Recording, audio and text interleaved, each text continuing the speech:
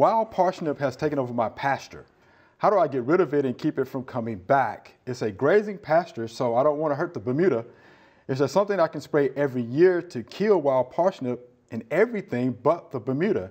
And this is from uh, Billy. So this is Mr. Billy, Michigan City, Mississippi. So thank you for the question. So here again, wild parsnip, is there something I can spray every year to kill it, but not kill the Bermuda? But first, are we sure that it's Correct. wild parsnip?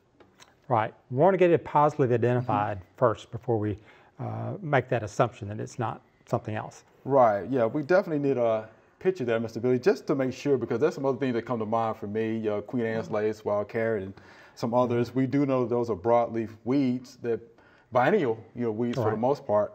Uh, but at this point in time, I know he's asking about something to spray, but at this point in time, this late in the year, I would just mow it. Correct. I mean, when you think so, get out the bush hog and just mow it down. And then I know that you can come back, you know, in the winter with a burn down. Right. Uh, and that burn down could be, you know, glyphosate product or something like that. Uh, but I would check with my local extension agent there because they may have a plan for you down in Mississippi uh, that can help you out with your grazing pasture and with uh, this weed as well. But that's what I would do. I just mow it down at this point. At this point, definitely don't want to go to seed, so mow it down. Don't Yeah. let the seed mature. Right.